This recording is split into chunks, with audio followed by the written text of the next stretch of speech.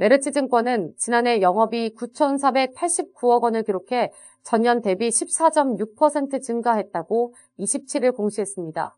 매출액은 23조 2,473억 8,572만 원을 기록했고 전년 동기 대비 40% 늘어났습니다.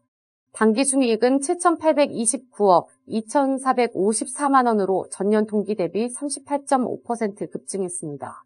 회사 측은 연결 기준 당기순이익과 영업이익, 세전이익 모두 창사 이래 최대 규모 실적을 달성했으며 세전이익은 처음으로 1조 원을 넘어섰다며 파생상품 거래 이익과 수수료 수익 증가에 따른 매출액이 증가했다고 말하였습니다.